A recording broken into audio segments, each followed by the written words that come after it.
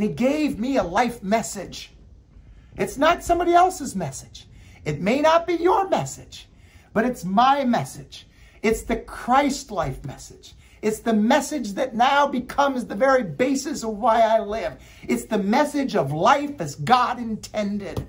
It's the very thrust of my being to help Christians understand life, Christ's life, as God intended them to experience.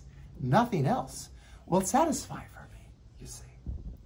And all of us have been called to do one thing, and that is to declare the gospel. And that is the gospel as he is working within you.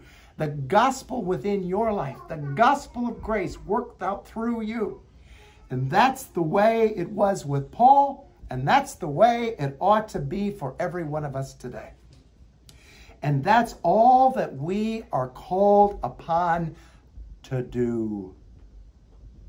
And that is to declare that the gospel of God, the gospel of Jesus Christ, that is working within us and that He is working out through us, might be manifest to all that we come in contact